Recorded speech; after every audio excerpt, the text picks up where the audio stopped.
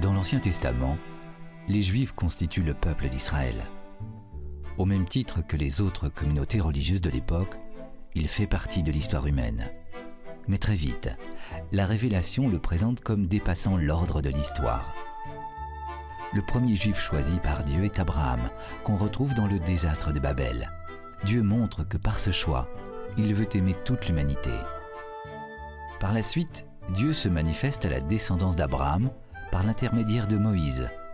À ce moment-là, les Juifs sont en Égypte, ils vivent en esclavage et sont persécutés par le Pharaon. Le livre de l'Exode nous raconte qu'un jour, alors que Moïse fait paître le bétail de son beau-père sur la montagne de l'Horeb, l'ange de Dieu lui apparaît dans une flamme de feu du milieu d'un buisson. Dieu l'appelle et lui dit ⁇ Je suis le Dieu de tes pères, le Dieu d'Abraham, d'Isaac et de Jacob. J'ai vu la misère de mon peuple qui est en Égypte. J'ai entendu son cri devant ses oppresseurs. Alors Dieu fait part de son dessein à l'égard d'Israël. Je suis descendu pour le délivrer de la main des Égyptiens et le faire monter de cette terre vers une terre plantureuse et vaste. Israël est devenu le peuple élu. À la suite de cet événement, Dieu demande à Moïse de quitter l'Égypte avec son peuple. Il le prend sous sa protection, l'aide à fuir l'oppression des nations païennes et l'installe en terre de Canaan.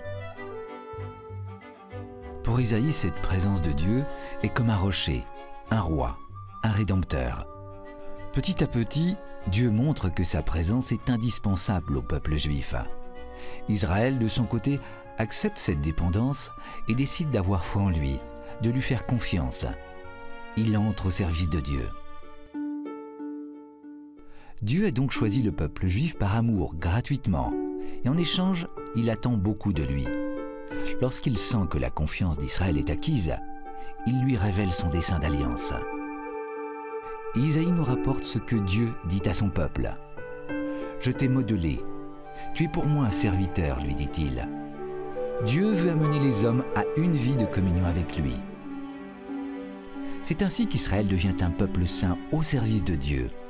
Dieu le désigne d'ailleurs comme un troupeau, une vigne, un fils, une épouse, un royaume de prêtres.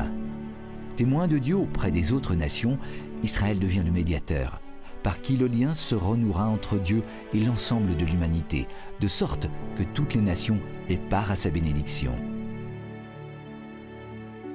La première alliance qui unit Israël à Dieu domine toute l'histoire humaine et trouvera son point culminant à l'accomplissement des temps. Le dessein de Dieu révélé alors de façon imparfaite se réalisera pleinement avec la venue du Messie qui vient sauver juifs et païens. L'ancienne alliance est définitivement tournée vers l'avenir, vers l'alliance nouvelle, celle du Nouveau Testament. C'est ainsi que Dieu montre sa fidélité à Israël et à tous les hommes.